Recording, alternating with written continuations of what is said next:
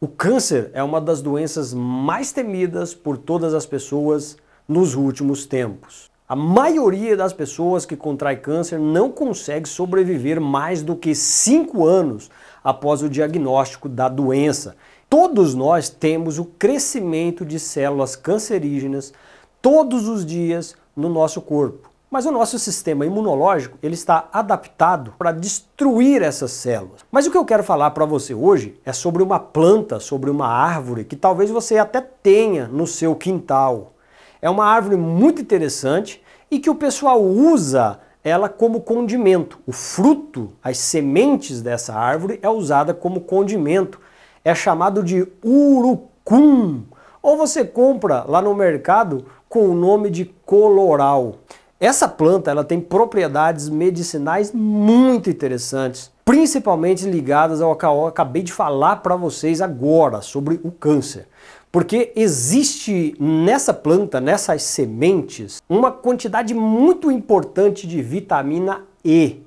E com todos os isômeros da vitamina E, que são os tocoferóis e os tocotrienóis. A vitamina E é uma das vitaminas mais importantes no que diz respeito ao estresse oxidativo. O estresse oxidativo, ele é um dos causadores principais de doenças relacionadas, como por exemplo câncer, doenças degenerativas tanto do sistema nervoso quanto do sistema nervoso periférico, uh, do seu olho e também as doenças do coração podem estar relacionadas ao estresse oxidativo. E essa vitamina, com todos os seus oito isômeros, é muito importante na prevenção e também no tratamento de todas essas doenças. Inclusive, existe um isômero da vitamina E presente no urucum, que é muito importante para a formação da melanina na nossa pele. Isso, esse pigmento muito importante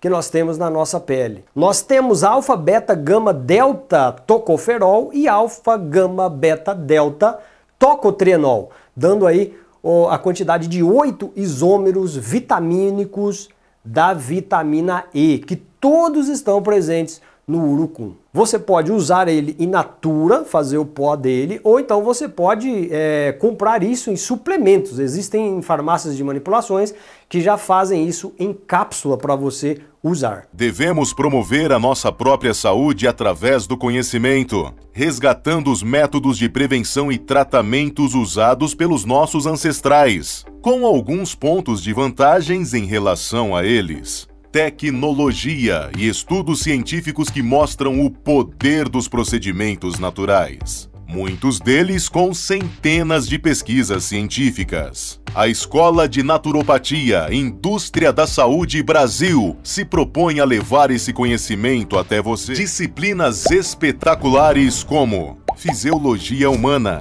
biologia molecular e bioquímica, fitoterapia, medicina tradicional chinesa, dietoterapia, terapia física, biofísica quântica, neurociência, geoterapia, auriculoterapia, ozonioterapia e muito mais. Venha para uma escola que é referência dentro e fora do país. A Escola Indústria da Saúde Brasil te entregará um conteúdo diferenciado. Para isso, conta com professores preparados para entregar a você todo esse conhecimento com uma didática dinâmica e especial. Então, invista em você, invista em uma carreira muito interessante isso é uma profissão. A naturopatia é uma profissão que está garantida no CBO, que é o Cadastro Brasileiro das Ocupações. Você pode ter a sua clínica, o seu consultório e atender os seus clientes, pacientes.